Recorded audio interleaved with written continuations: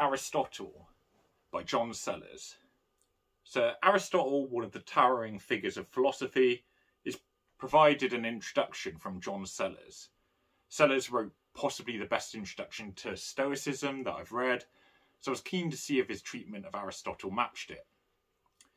So, the book covers many of Aristotle's main works the ethics, metaphysics, poetics, physics, politics. But given this short book is really just a primer, one shouldn't expect too much depth or detail to the book. It, it really is just a primer. It's written well though, acknowledging the difficulty of the metaphysics, the importance of the Nicomachean ethics, and the framework for drama and tragedy that the Poetics outlined. One particularly important part is the inevitable contrast between Plato and Aristotle, and how Aristotle took a scientific approach matched by his fascination of animals and the physical world, whereas Plato's theory of forms has usually been construed as more abstract. The difference was well explained. How Plato's forms are a higher reality and have an original idea, whereas Aristotle believed forms do not exist independently of things, and are more of an attribute which can sometimes be lost or added without impacting the original subject. One problem I see with Aristotle is that reading him directly, he's just quite dry and I say this as someone who loves ancient philosophy. Getting an introduction such as this by Sellars can help. When one doesn't know the context around someone like Nietzsche, it can remain interesting nevertheless, although probably a bit difficult to understand, especially for newcomers. Yet, with Aristotle, having surrounding context can really help you to just read the text and his works a criticism of this book would be that some of it's too short to achieve what it needs to do, and the subject matter is certainly too complicated in places to provide enough context. Aristotle's metaphysics instantly springs to mind, and indeed is caveated by the author as this book barely being able to dip its toes into the met metaphysical water.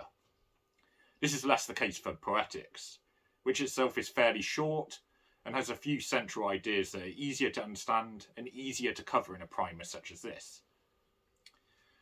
Just to read a quote from the book to give you an idea, open quote, one way in which our own use of comedy ought not to overstep its bounds, Aristotle suggests in the Nicomachean Ethics, is by avoiding being deliberately offensive. He also argues that comedy on stage ought to be fun, relaxing, and entertaining, and so shouldn't cause pain to anyone else. The goal is relaxation and amusement, not provocation. Bearing in mind Aristotle's stress on the importance of living in a harmonious community, humour too ought to contribute to this by generating enjoyable social occasions, moments to bring the community together, rather than upsetting or alienating anyone. The issue is as current today as when Aristotle reflected on it. Where do we draw the lines between humour and offence? Should some topics be off limits for comedy End quote. And that's from page 81. So Sellars still writes with clarity and avoids getting bogged down or sidetracked. It is a focused work, which often makes his short analyses so effective. He also writes in a readable style that is enjoyable for potentially challenging ideas. I didn't really see much problems, if any, with how Aristotle's ideas are presented, nor what was included and what was left out such a vast volume of literature has been written about Aristotle that not everything is going to be present here. So in terms of final score, I don't see too much need to over elaborate here.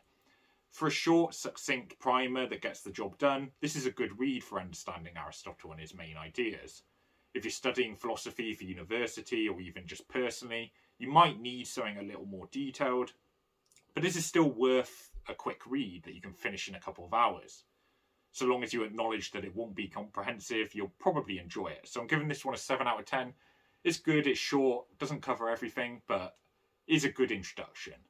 So thanks for watching, got plenty more videos on philosophy books and a, host of other genres. So cheers.